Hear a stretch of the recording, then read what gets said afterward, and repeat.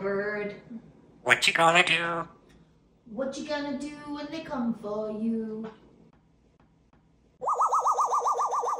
He's a good, clever boy. Feel that. I feel that.